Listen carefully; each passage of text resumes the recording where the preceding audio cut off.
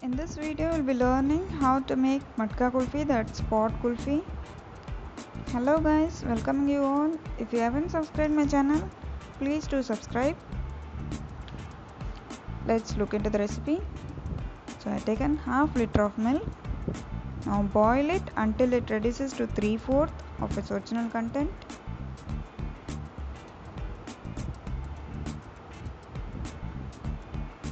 In this recipe, I have used the condensed milk. If you don't have the condensed milk, you can ch- check my earlier video on how to make the homemade condensed milk. I have given the link in the iCard.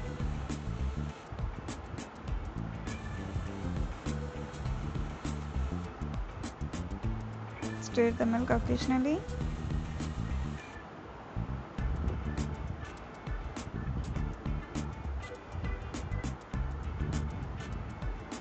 As you can see, the milk has reduced to 3 4 Now let's add 1 by 4 cup of sugar into it.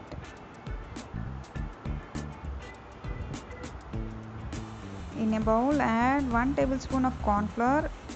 Mix it with 3 tablespoons of water into it and add the mixture into the milk. Add 1 by 4 cup of condensed milk. I have used the homemade condensed milk.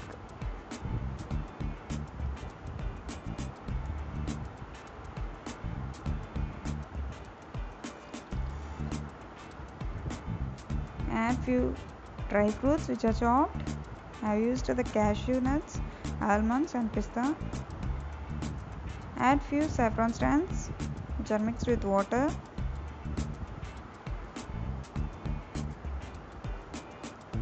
Stir the entire mixture making sure there are no lumps in it.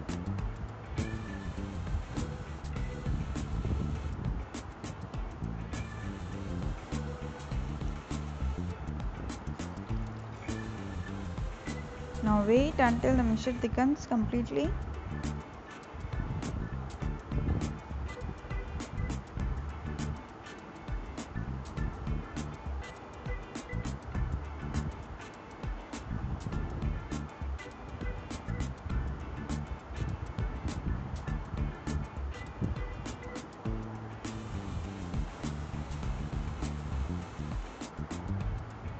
Our matka kulfi is ready. Now switch off the flame and let it cool down.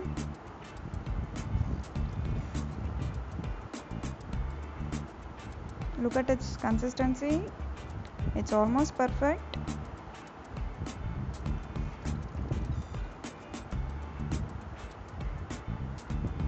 Now transfer it to a pot. If you don't have pot, you can use the bowl and freeze it overnight.